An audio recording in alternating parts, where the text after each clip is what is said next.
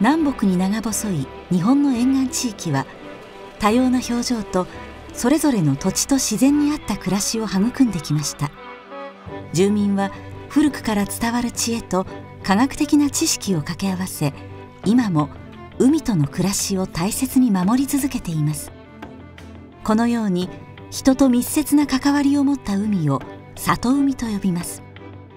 里海研究の第一人者である広島大学の松田治名誉教授は里海を次のように説明してくれました。まあ、里海って言葉はだんだん市民権を5つはあるんですけども比較的新しい言葉考え方なんですけどももともとはその里山という言葉があって、えー、里山というと大体皆さんイメージが湧くかと思うんですがその海版的なものですが単に自然の海とかあいうよりは人の生活里と結びついた豊かな海っていうのをイメージしていただけるといいかと思うんですけども。戦後の50年ぐらいでですね日本各地のその沿岸域はいろんな環境汚染ですとか公害とかで、えー、まあだいぶ環境破壊とかあるいはその生物がいなくなる魚取れなくなるというようなことがあってそれに対してもう少しその人間が海と関わりながらですね、えー、豊かな海を、まあ、いろんな生物が住めてお魚も利用できると、まあ、そういう海をを取り戻していこうというような、まあ、昔の豊かな海がイメージにありますがそれをまあ、新しい形で作り直していこうというのは、まあ、大体そういうイメージでいいかと思います。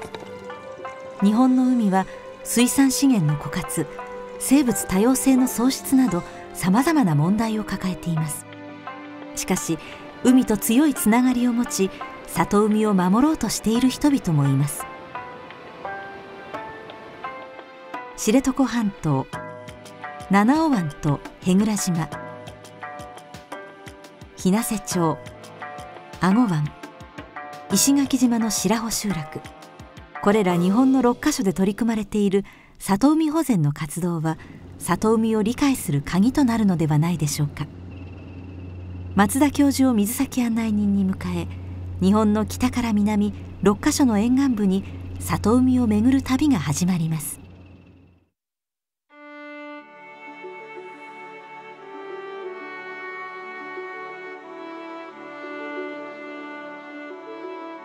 北海道知床半島は日本に3カ所ある世界自然遺産の一つです。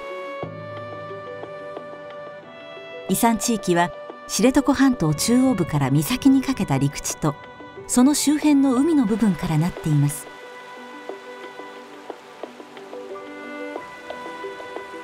知床はもともとアイヌの言葉でシリエトフといい地の果てや岬を意味します。羅臼町はその知床半島の東側に位置し根室海峡に面しています。水産資源が豊富で昔から漁師町として栄えてきました。中でもスケトウダラの漁獲量は1980年代から1990年代にかけて北海道の漁獲量の半数近くを占めており1989年のピーク時には11万トンを記録しました。しかし近年スケトウダラの漁獲高は激減し続けています。2010年度のスケトウダラの漁獲量は1万トンにやっと手が届くほどでピーク時の10分の1以下となりました。ピーク時刺し網漁業部会長をしていた川上さんは当時を振り返り漁獲量の多さをこのように語ってくれました。船も今みたいに大きい船でなかったからだけどもう積み切れなくて それこそ人にくれたり危ない場切ってやったり それぐらいかかりましたよ。その頃はあれだね。そうそうそう。網2本だからね。2本巻く時はもうあと氷やったりすれば遅くなるしね。それこそ夜中 まで魚外しちゃって終わって帰ってきて風呂入る島もなかったんでいかないな。若い人までたらもう2時間ぐらい寝てはあの頃でも何時5時頃出航だからもうそれこそ 夜中中やって3時頃帰ってきてはそんなの何日かありましたね。いやあの頃はそんな不安はなかったわね。しかしスケトウダラの水揚げは減少の一途をたどっていきました。そのため刺し網漁の漁師たちは研究者と共に資源を守るためのさまざまな努力を始めました。3月のなれば産卵もするからそういうのを残すのに、うん、切り上げそれこそ終了時期をどんどん早めたねあの頃は。腹水子なるから、うん、そういうのが多く取れる場所を主にやっぱり金炉にした方がいいんじゃないかってことで。そして値段的にももう水子なれば価値も下がるししたらそれは、うん、のあそこははみささない方がいいんじゃないかっていうことで部会で決めねスケソ部会っていうのがあるもんだからそういうところで決めてそしたらここを金力にしようってことで。それは毎年実施してるはずだ。また船を減らす努力も行われてきました。1988年には193隻あった助藤原刺し網船は現在では83隻まで減少しました。この量だら本当にまあ間はな漁師も食っていかいないからもうどんどんどんどんやっぱりやめる船、うん、いると思うんだけどやっぱり寂しいよね本当に。スケトウダラの漁師たちは5隻で1グループを構成する共同経営方式を導入し5隻のうち1隻を交互に休業させる取り組みを行い資源の保護に寄与すると同時に経営コストの削減に努めてきましたこいつは俺ですそう少しね紙にあると思うんだけどね。今本殿に着きました。ここ俺とこいつさんの並んでんのかな？これ俺の紙に4本紙置きに4本見えてるよね。スケトウ漁を行う漁師が減る中川上淳二さんはお父さんの後を継ぎ恵比寿丸の船長となりました。まあまあ今日見た感じなら網がガラガラ何も魚なんてかかってないんだけど創生料金の時ならもう網いっぱいもう魚がかかってきててね船いっぱいもう膝隠れる膝上ぐらいまで魚って感じでしたよね昔は。俺が漁師やった何年目かな？21年経つんだけど漁師やった12年はそういう感じだったんだけど徐々に徐々に減ってきましたよね流氷来ると魚も一緒に来るってよく言ってたんですけどね。最近はもう流氷来たらもう泥しか網にかかってないっていうか魚もいないですね。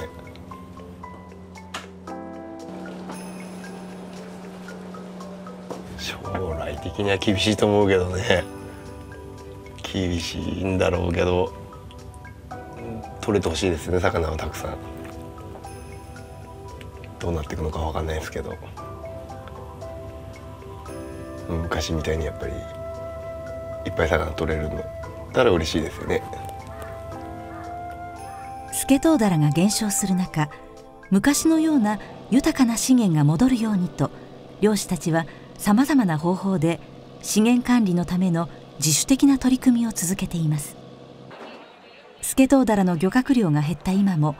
ラウスの海はまだ多くの幸を生み続けています。ここではスケトウの他にもカレイ、ホッケ、サケ、イカなど年間を通してさまざまな漁が行われ北海道でも有数の漁獲量を誇っていますラウスで資源が枯渇しないように注意しながら漁を行っているのはスケトウ刺し網漁だけではありません。ウニもね元はねあの1日の取る数量も何も決まってなかったんですよ。自分で打て次第で要はなんぼでも。資源の豊富な頃はそれでよかったんですけど今これ何年かで結局昆布との兼ね合いがあって天然昆布あんまりこうウニを増やしちゃうと天然昆布が食われ食べ過ぎちゃうのでその辺の兼ね合いがあって今ちょっと資源的に少ないんですはっきり言って元よりはね。うん、1日の取る数量を今50キロかも1かもに決めて、まあ、74,5世紀創業して当たってますけどそうやって決めて創業してます。もう創業時間時間も決めてますけどね。金量は7月1日から89月いっぱいね金量7月からやっぱり産卵時期なんですよ。ウニもやはり。と産卵時期のもの取っちゃうと結局はね子孫を残すウニを取ってしまうことになるんで次の世代のウニがなくなると結局はそれを取り上げちゃうことでやっぱり資源なくなっちゃうんです国や地方自治体で定められた規制もありますが地域ごとに漁業者独自が決めるさまざまな掟によって漁ができる期間時間場所また取ってよい魚介類の種類大きさが厳しく定められてきました。今しこちょっと流氷見ててけれ。あの、そっかそのロス川の沖のその近いやつ行くべあのあらわし集まってるとこ見て。けれ大丈夫かあすぐすぐ。もうすぐ流氷だよそれ。住民の多くが海に関わる仕事をしているラウスでは漁師を辞めてもその経験を生かし仕事を続ける人もいます。観光船エバーグリーンの船長長谷川雅人さんはもともと家業であったスケトウ漁や昆布漁をしていましたまあ経営はやっぱりスケソンがダメになったから漁業が衰退してってねやっぱり先細りだし、まあ、将来展望がね、まあ、自分ではないと判断したからそれではまあ思い切って転業したんですけどね。あの漠然とやったんじゃなくてやっぱりそういう海っていうのはやっぱり俺たちの得意なとこでねラオスのやっぱりこういう豊かな海っていうのがあったから他のとこでは考えないですよこれ、ええ、最初から陸の仕事は考えてなかったから、え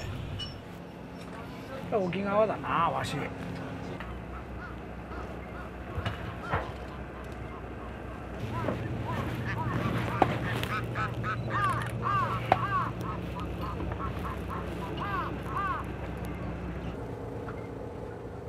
のエバーグリーンっていうのはね、まあ、あのうちの漁船が長栄丸だったんでね長く栄えるっていう意味だったんでこれそれでエバーグリーンにしたんです、まあ、漁業はやめたとはいえねやっぱりその親が、まあ、じいさんや親たちがずっと続けてきた船の名前だったからね、まあ、それを続けようと思って、まあ、こう名前は変わってね船の形も変わったけどね、まあ、やっぱりいつまでもねやっぱりそういう苦労してこうやってやってきたものをね、まあ、ずっと続けてね子供たちにも残していこうと思っていうそういう思いでこのエバーグリーンにしたんですよ。今日はわし動き行くていい。先におじろわしだけどね今日わしがする、うんうん、今日わしがもう果敢に突っ込んでくる。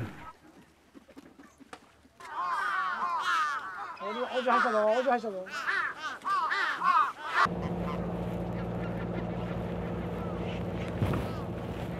いややっぱりねこの少ない資源をやっぱりみんなでやっぱり取り尽くさない程度に温存しながらまあこう続けなきゃダメでしょうね。僕らこの観光業やってますけどね漁業がダメになったらこれもダメだと思ってる。このラオスに漁漁民がいなくなったら俺たちの観光ももう終わりだ。結局あのクジラとかシャチ来るでしょ。食物連鎖のつながりだから。そうでしょ。魚がいなくなったらそれを追うものもいなくなる、ね、クジラもいなくなるシャチも来なくなる。